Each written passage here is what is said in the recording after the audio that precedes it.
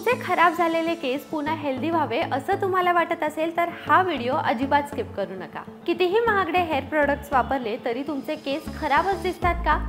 याचं कारण असं की तुम्ही तुमची हेअर पोरोसिटी चेक न करता प्रोडक्ट्स वापरताय. खरं तर लांब मऊसूत आणि हेल्दी केस हवे असतील तर हेअर पोरोसिटी जाणून घेणं अतिशय महत्त्वाचं असतं. त्यामुळे हेअर पोरोसिटी म्हणजे नेमकं काय ते पाहूयात. जसं स्किन टाईपनुसार आपण स्किन केअर प्रोडक्ट्स निवडतो ना तसंच हेअर पोरोसिटीनुसार हेअर प्रोडक्ट्स निवडायचे असतात. सो बेसिकली हेअर पोरोसिटी म्हणजे केसांची मॉइश्चर शोषून घेण्याची आणि मॉइश्चर होल्ड करण्याची क्षमता.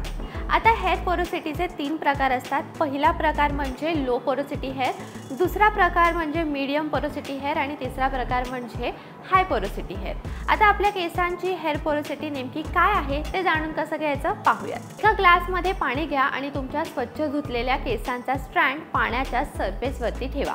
लक्षात ठेवा केसांमध्ये कोणतंही प्रोडक्ट असू नये. जर तुमचे केस पाण्यावरती तरंगत असतील तर तुमचे लो पोरोसिटी हेअर आहेत. लो पोरोसिटी हेअर म्हणजे तुमच्या केसांची जी शेवटची लेअर आहे ज्याला आपण क्युटिकल लेअर असं म्हणतो ती लेअर बंद असते ज्यामुळे केसांमध्ये पटकन मॉइश्चर जात नाही आणि एकदा मॉइश्चर आतमध्ये गेलं की ते तिकडे लॉक होऊन जातं. आणि मग केसांमधून ते मॉइश्चर निघणं कठीण सुद्धा होऊन जातं. म्हणूनच ज्यांचे केस लो पोरोसिटी आहेत त्यांचे केस धुतल्यावरती पटकन सुकत नाहीत.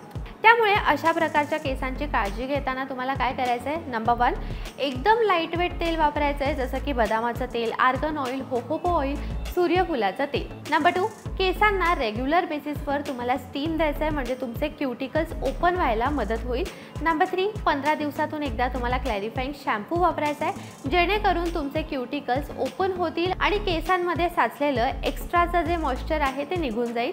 नंबर फोर तुम्हाला सिरमसुद्धा अगदी लाईटवेट वापरायचे आहेत. आता जर तुमचे केस मधल्यामध्ये तरंगत असतील तर तुमचे मीडियम पोरोसिटी हेअर आहेत म्हणजेच नॉर्मल हेअर आहेत. आणि जर तुमचे केस पाण्यात बुडाले तर मग तुमचे केस हाय पोरोसिटी आहेत.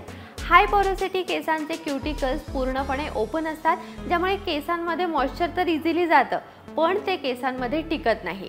ज्यामुळे केस मग कोरडे होतात राठ आणि डल दिसायला लागतात. अशा केसांची काळजी घेताना तुम्हाला number one protein based products वापरायचे आहेत. अशा प्रकारचे प्रोडक्ट्स फार उपयुक्त ठरतात. Number two high porosity hair असणाऱ्यांनी खोबरेल तेल एरंडेल तेल तिळाचं तेल असे जाडसर तेलाचे प्रकार वापरायचे आहेत. नंबर थ्री शॅम्पू कंडिशनर आणि सिरमसुद्धा तुम्हाला हायड्रेटिंग आणि मॉइश्चरायझिंग वापरायचं आहे. नंबर फोर रेग्युलर बेसिसवरती तुम्हाला डीप कंडिशनिंग मास्क वापरायचे आहेत. असे मास्क केसांसाठी खूप चांगले असतात आणि तुमच्या केसांना यामुळे चांगला फायदा फायदा मिळेल. सो हेअर पोरोसिटी जाणून घेणं किती महत्त्वाचं आहे हे आपण आज पाहिलंय. त्यामुळे इथून पुढे केसांची काळजी घेताना आधी तुमची हेअर पोरोसिटी तपासून घ्या आणि मगच त्यानुसार हेअर प्रोडक्ट्स वापरायला सुरुवात करा. हा व्हिडिओ तुम्ही सेव्ह करा म्हणजे तुमची हेअर पोरोसिटी चेक करताना तुम्ही हा व्हिडिओ रेफर करू शकता. हा व्हिडिओ तुम्हाला कसा वाटला हे कमेंट्समध्ये नक्की सांगा आणि हेअर पोरोसिटी चेक करण्याची एखादी वेगळी पद्धत तुम्हाला माहिती असेल तर ती सुद्धा कमेंट्समध्ये नक्की सांगा. सोबतच लोकमत सखी फॅमिलीचा भाग होण्यासाठी लोकमत सखीच्या फेसबुक पेजला लाईक करा. यूट्यूब चॅनलला सबस्क्राईब करा. बेल आयकन प्रेस करायला विसरू नका. लोकमत सखीला इंस्टाग्रामवरती सुद्धा फॉलो करा आणि पाहत राहा लोकमत सखी.